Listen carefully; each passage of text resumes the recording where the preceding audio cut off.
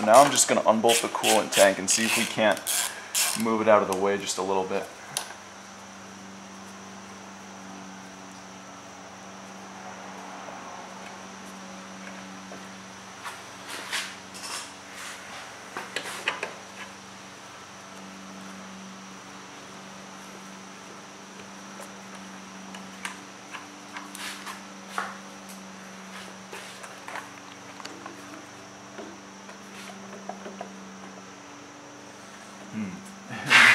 Might be some kind of seal for it on the bottom, so. You might just have one of the little rubber things, bushings that it sits in on the bottom. It could. You just pull straight up or something. Oh, Yeah. I heard rubber. Do. Ooh. I don't know if I wanna. Ooh. I don't know if that There's helps not much. There's not much ways you can maneuver it. Got so many connections. Maybe I can drop it down a little bit, or like I can, I can like lift it a little out of the way now. All right, I can see the, I can see the next one from back here. I might try to universal joint it.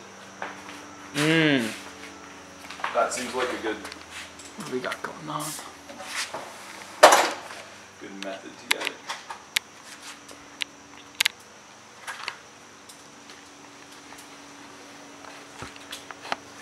We get both TBH on. Did you get cylinder three yet? No. Okay. That's what I'm trying to get. I might, I might go right here. Mind if I occupy the yes, spot where- occupy the spot where, that I am camera in. is? With Bamra. I'll occupy right here then. I'll occupy Wall Street. I need longer XXX tension. Good thing I have one. Cylinder one, cylinder two, cylinder three, and cylinder four back there. Let's see about this. We get like a an initial angle of dangle.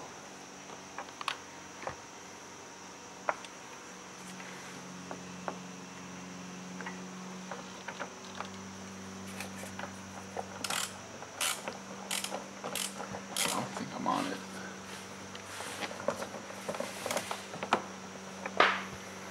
I'm gonna grab the flashlight real quick Mm-hmm. to see if I, I there. I. You want me to hold Blash? No, you, you're better off holding it. You know what you're looking for. You just put there.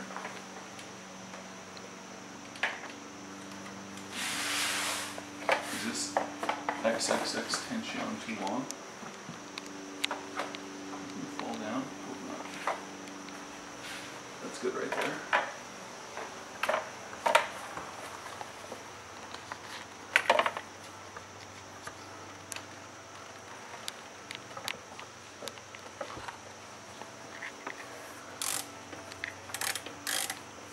Oh, I think that's too many.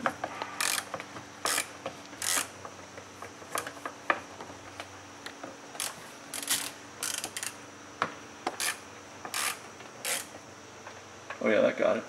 Oh, good. It was just universal joint binding up a little bit. Alright, and now without dropping the light down the back of the engine. Cylinder four. Yeah. Let me see if there's a spot I can like wedge the light. You already got five through eight, right? Yeah, there's only one left. Oh, okay. Is that gonna fall? Cannot tell. Indeterminate on the fall.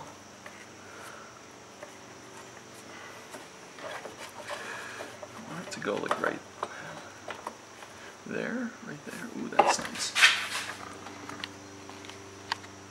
Oh, this is good. This is good.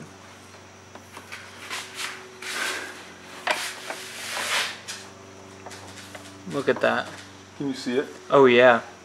Alright. Perfect view. And you're still recording? Still recording. Alright, so here's the last one. Can't tell if I'm on it oh, or Oh, not. you are on it. Gonna loosen up a good amount. That's probably that's Um, probably plenty. Hold on. You might have just got. Oh no no, you were on it. Sorry, I was looking at cylinder number three's bolt. warm bolt. There you go. Come on, light. We're at quite quite the ludicrous ISO setting. All right, A lot of pixies going across the sensor.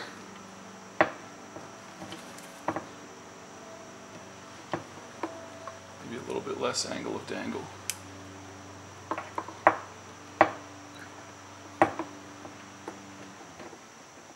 I think that's on it. Yeah, I think I see it rotating. Oh yeah, it definitely is rotating.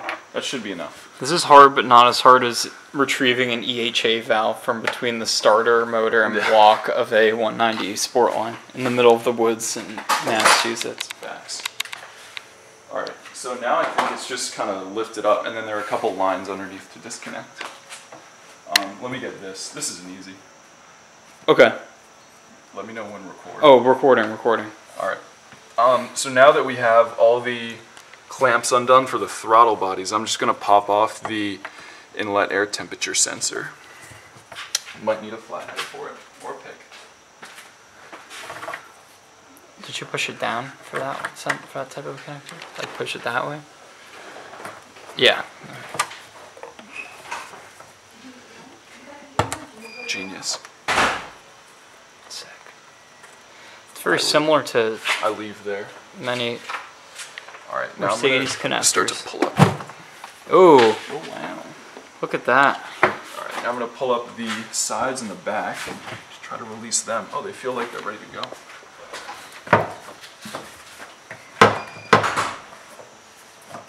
So there's, you wanna come around here, there's one. Yes. And we get already two. I think there's another one of those like airlines that needs to come.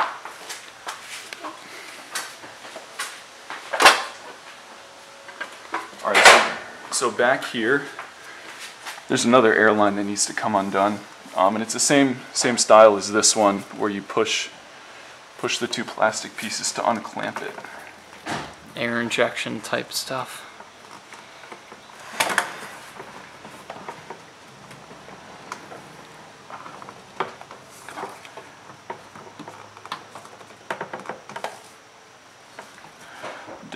On the right. Oh, every throttle has its own barcode. It's interesting.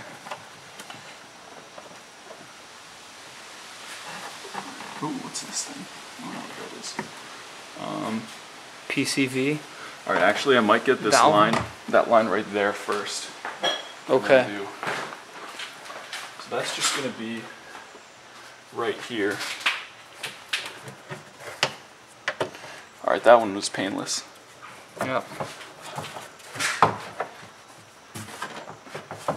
There's a little elbow on the bottom, I'm assuming, right? I think it's there's still that one on the back. Oh.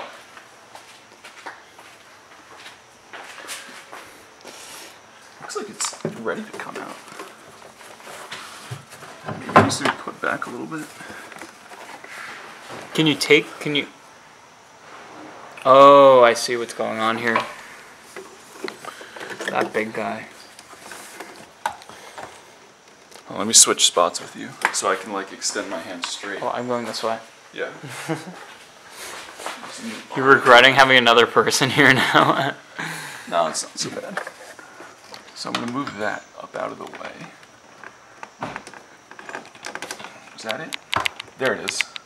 Alright, that one just came unclipped. And now we should just be able to lift the manifold out. Now. might be another connection underneath it. no. Wow.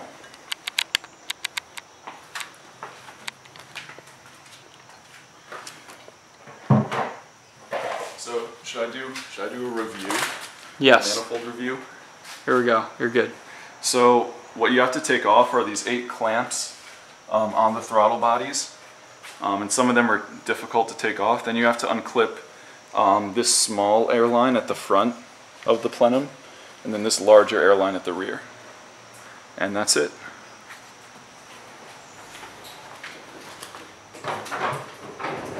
Beautiful fiberglass reinforced linkages. Fascinating. Wow. Wow, looks like there's an animal living in here. Oh wait, no, Mhm. it's just BMW wiring. Mm-hmm. I think it's not soybean based, or maybe it is.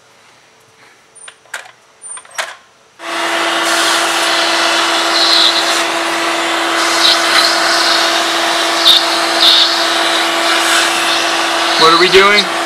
Now we're just cleaning up around the we're cleaning up around the throttle bodies so no dust falls into them uh, while we replace the actuators. What's the compression ratio? The S85 V8 has a compression ratio of 12 to 1. Okay, so you definitely don't want any dust in there. No.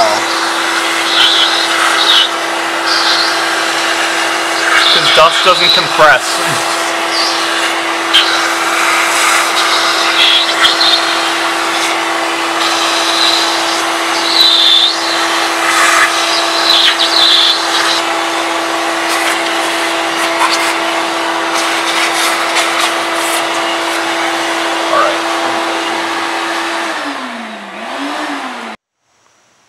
Okay.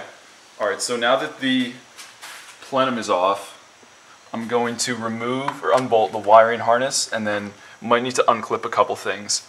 Uh, and then from there, we'll lift up the harness, and then we'll access the two throttle actuators. You can see the plugs there and there. Um, we'll access them kind of through the front, like that. So, first we'll just get the harness loose here. And very careful not to drop the bolts Mm-hmm. or the nuts. Not even bolts, so it'd be more of a pain to find them. Yes. And put them over here. And then, let me see. I don't think I need anything else to lift this up. Oh, maybe that guy back there.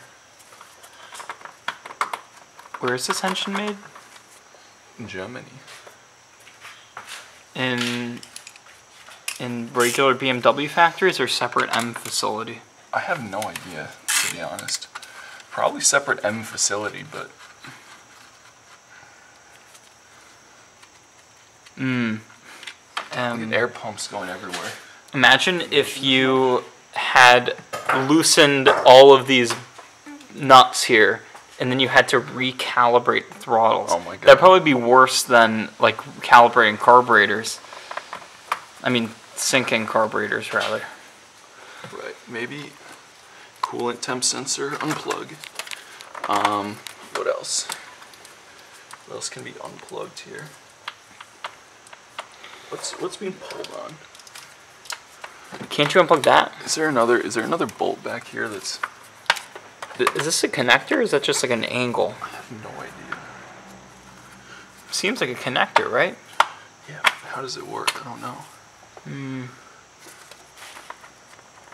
Maybe I can consult again. This is all the same molded bracket. Even the bracket for the air pump, they're all in the same thing. It's a little annoying, It is. especially because air pump doesn't want to move that much. Air pump says I stay. oh, clutch fan? What the fuck? Oh no, it's electric. Um, It's, it looked like a clutch fan. But alas. So that unplug, coolant unplug. What is this? What? All right, so now we're at the point where we're getting ready to take the actual actuators out. So in order to do that, we had to remove this kind of wiring harness up here. Um, so there are six plugs up front. There's this one, which I'm not sure what it does. There are two down here towards the front of the of bank one. Um, and they are also held in with clips which you need to open up. Be careful not to pull them out of the block, rather just flip them open as shown. There is a, I think an oil pressure sensor there as well. And so that's the four clips on this side of the wiring harness. Then over on this side, there are just two clips. One is a coolant temp that goes right in there, and the other is, uh, I'm not really sure what this one is, but it, it plugs in right there to the har- Multi-connector. yeah, multi-connector to the harness. After those six, total six are done, four on this side and two on this side, um, there's another multi-connector that's snapped in here over one of the throttle actuators, and you want to make sure you unplug that. and then unplug the two actuators themselves. Um, they're these big connectors, and make sure you, you push firmly on the on the little tabs, um, but don't break them. Push firmly and then pull away from the connectors. These might be kind of tricky to get undone. Um, and from there, you, you're going to want to make sure you loosen the two 10 millimeters at the front, and then two at the back. One's back there, and one's right there. And then once those are done, you can kind of lift up the whole air pump wiring harness assembly. Make sure you don't pull any plugs off the harness. And then you should be able to more or less get down to the actuators in between the two banks. And how about prying that piece of linkage off that ball joint? Oh yes, so in order to remove the actuators, one of the first things you'll need to do is remove the throttle linkages. And so in order to do that, um, take a screwdriver, down straight here. Take a screwdriver and slide it next to the ball there, and then lever, carefully lever just the, just the socket off of the ball, like that, making sure not to bend the rod. And now we'll use a Torx T30 to undo the actuators. All right, so these are the two throttle actuators out of the car. Um, they really weren't too bad to take out once we had the uh, harness out of the way. Um, one cautionary note is the one of the throttle position sensors is on the bottom here, um, and it clips up to the bottom. And so be take care that when you're lifting the harness out, you've already unclipped that or you've slid it out of its mount. Very similar to the one back here, Exactly. except 180 degrees upside down up here. Exactly. Um, and once that's done, you can kind of see the mounting points um, down there. I'll try to stick a finger next to them. Uh, it's a little dark. Uh, you can kind of see Not that. anymore. So there are the two central mounting points, and then there are two on each side. Um, each actuator has three points. Uh, the actuators are the same part, so they're just flipped 180 degrees for each bank. And now they're out. Now we're going to put the new ones in. A magnetic retrieval tool is necessary to uh, retrieve the bolts.